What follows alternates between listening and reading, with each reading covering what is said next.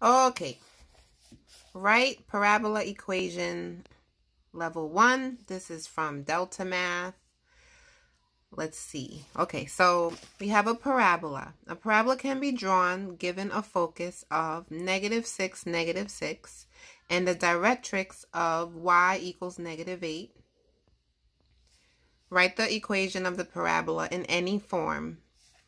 So they're saying any form because you have two different forms. You could write the parabola in. So delta math tells you a negative under here and a negative here. But you can always just use this form. I like this form where the P is determined by the direction that you go. Let me show you. So here's negative 6, negative 6. 1, 2, 3, 4, 5, 6. 1, 2, 3, 4, 5, 6. There's my focus. Negative 6, negative 6. And my directrix is negative, y equals negative 8. So negative 7, negative 8 is my directrix y equals negative 8. Okay.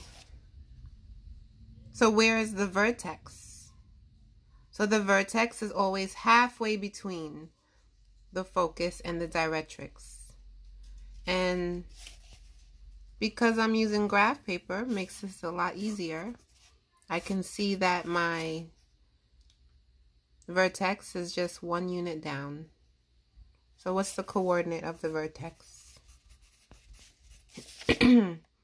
well, this is negative 6, so you go down 1, negative 7, negative 6, negative 7. Okay, there's my vertex. We also will need the P. We need the P and the vertex to write the equation. So the vertex, we got that. The P.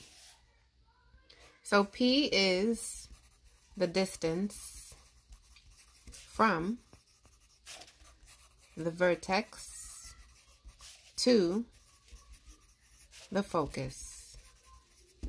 Because we're going up to get to the focus, P is positive and it is positive 1. We got the vertex, negative 6, 7. Sorry, negative 6, negative 7. And now we can um, plug these values in to either one of these and we'll get our equation. So let's do this one. y equals 1 over 4 times p. p is 1. Times x minus h. h is negative 6 squared plus k, which is negative 7. Always use parentheses when you're substituting. It will make your life a lot easier when it comes to simplifying this thing. Put another parentheses, yes. Okay, so we simplify this. y equals 1 over 4 times 1 is 4. x minus negative 6, that's the same as x plus 6 squared. And we're just going to go ahead and put minus 7. So that's one answer you can enter. Or you could use this form. So this form is going to be 4 times P. 4 times P is 1 times Y minus K is negative 7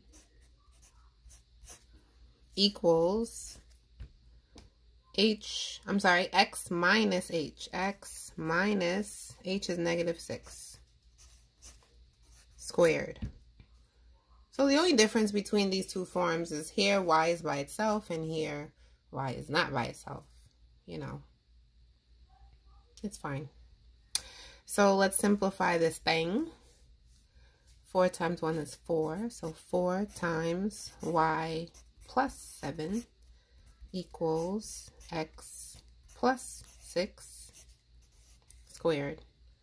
So this is your answer or this is your answer. Delta Math would appreciate either one. Thank you.